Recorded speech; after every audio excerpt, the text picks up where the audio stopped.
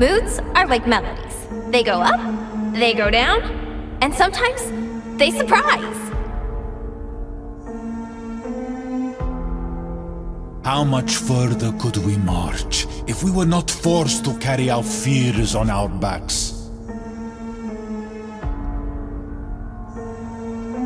What is a god without words to fear him?